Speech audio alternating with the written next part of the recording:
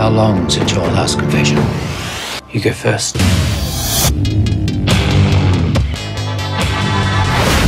Ask and ye shall receive. Search and ye shall find. Knock and the door shall be opened for you.